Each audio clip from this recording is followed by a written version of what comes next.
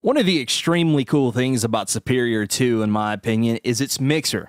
It's in the mixer that you're going to see all kinds of things. It really gets deep and detailed, okay? But what happens if you're in the zone? What what if you're in the middle of making a song and quite frankly you just don't feel like going into the mixer? What do you do? Well, enter the EZ Mixer.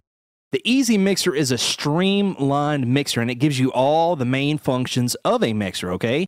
Here you'll see you've got the volume, okay? You've got pan, you've got solo, you've got mute, You've even got a master bleed section that controls the amount of bleed on that particular channel. Got a problem with phasing? Right here, we got a button that'll fix it, reversing the phase. You even have some time correction, and it'll show you what inserts you have on that channel. But that's just a quick overview, okay? It offers so much more than just what's on the surface. You got to dig a little bit, though. So let me go ahead and give you an idea of what I'm talking about by clicking the downward facing arrow, okay? Now right here, you're going to see it says all mixer, and then you have some presets and things that Toontrack has laid out for you. Very handy stuff. Whether you be a beginner or an advanced user, this is always some helpful routing, okay? Now, let me go ahead and get into the actual mixer view so you can see everything changing as I choose different settings. For example, all mixer default is what you're looking at right now, Let's go ahead and try the default bus routing. And here you'll see that Superior has gone ahead and sent the kicks out to one channel and it named it for us, kick. Let's scroll down and you'll see right there, bus 1, 2 is our kick. Then you have a bus 3, 4 for your snare, bus 5, 6 for your hi-hat, so forth and so on. That's pretty cool. I mean, that right there has done a lot of routing for you and it enables you the convenience of having everything on one channel. And if you need to get a little more detail, that's fine. Come on down here and do what you got to do, and then swing back down there. Boom, boom, boom. You can do everything else right here. Okay, so that's one cool preset. Let me show you another couple of them. Right here, this is an unprocessed preset where they send everything out to a bus, but they haven't named it or anything. You'll see kick drums on bus 1, 2, snares on 3, 4, 5, 6 on hi-hat, so forth and so on, okay? Next, we're going to see a flat multi-out, which this is probably my favorite preset. The reason is I run a multi-channel instantiation of Superior within my host all the time, okay? So this gets everything flat. If you look, all the faders are set on zero and everything's routed for me already.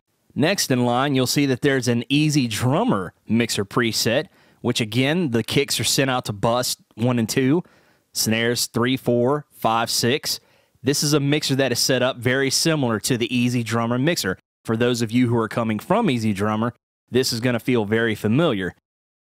You'll see that there's some EQs popped on here in addition to some compression.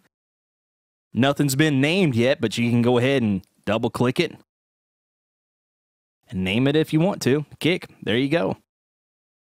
Another cool preset is going to be the natural sounding preset. Now, moving along, you're going to see that there is a place where your user presets will show up should you have any. You simply come down here once you have a setup going in the mixer and save it as, and then you can name it and save it. And the next time you go to user presets, you'll be able to go ahead and grab, you can name it.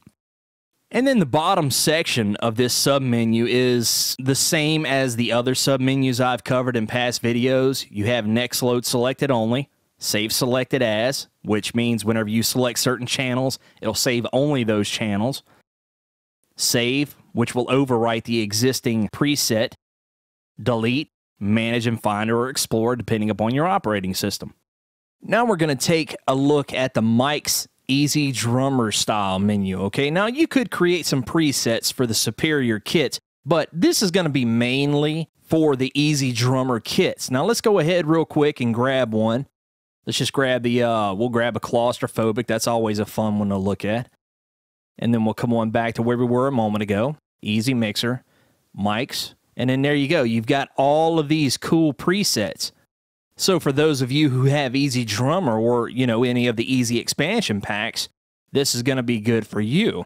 All right, let's take a look at the electronic real quick. Go ahead and get back into our mixer. And right here, you'll see we've got a whole bunch of presets as well, okay? So that's really helpful for the EZdrummer line. And for those of you wondering why these presets aren't in another place, for example, I don't know, right here, it's because this is combined presets. Remember that, okay? Also, if you're wondering why it's not in the construct page, well, there you go. There are some presets in the construct page. However, these presets are for the kit only, not the mics. These EZ mixer presets are going to be for the mics. All right? Boom. There you go. Now let's go ahead and get back to a superior expansion pack. Any of them will do. And then I'm going to get back into my mixer so we can watch what's going on here. Let's go ahead and click the down arrow and going down to bleed usage, okay? Now, this obviously, what you're looking at right up here up top, is considered default. However, if you want, you can create some bleed presets, okay?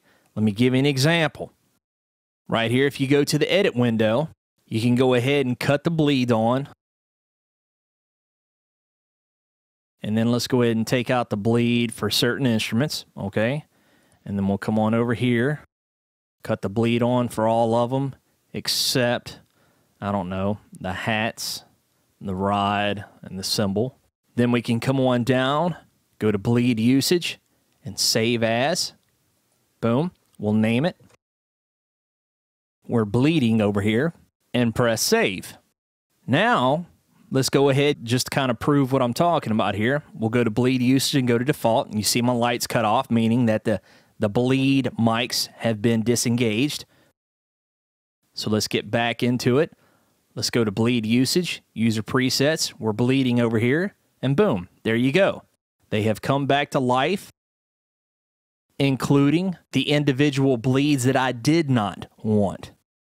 So let's go ahead back into it, go to default, and boom, there you'll see they cut off. All right, now down here is going to be the bleed level and phase. Let's go ahead and go to snare drum top right there. We'll go ahead and select all of them. And we're going to create our own preset here, by the way. Let's go ahead and adjust the level okay, on a few of these that really make no sense, but just to kind of exaggerate what we're talking about here. And now let's go ahead and reverse the phase on a couple of them. Now we'll come on down here and we'll go ahead to bleed level and phase. Save as. Phased out. Now we'll go ahead and disengage all of them. Close it up. Come on back down here. Go ahead to phased out. And then boom, you're going to see that our levels have been set and the phases have been engaged as well. However, the bleed themselves have not been cut on. You might be wondering what the point in that is. Well, it gives you very detailed ways of saving presets. If you want to save all kinds of good stuff, that's whenever you're going to go to the all mixer preset. I know it might seem a little bit confusing, but whenever you work with it, you get the hang of it. All of these presets have very specific uses, okay? Now, moving along, let's come on over here to the master volume section. And once again, just like the EZ Mixer, the name implies exactly what it is. It's a master volume for the sampler. Now, you might notice that by default, some of these kits are going to be a little bit different than others. For example, the Allaire kit is set at 0, Pop Rock minus 3.7, one of the Funk Masters, negative one, almost negative two. Latin percussion is back at zero. And right here at Vintage Rock, we're at a 4.1 gain. My understanding is that some of these kits were recorded a little louder and hotter than others, which is why some of the volumes vary. This is the sampler's way of compensating for where some of these might be softer than the other kits. You understand? Now, what's cool about this master volume section is that it also doubles as a mini transport, if you will, with a play and stop button for the groove player.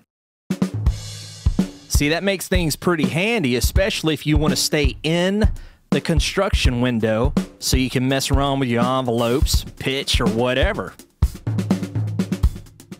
There you go. And you can stop it just by clicking it right there. Now that's going to conclude this video. Y'all stick around because we're going to move on to the next section. I hope this helped you understand the EZ mixer and master volume sections a little better. Thank you so much for taking the time to watch, and I'll see you in the next video.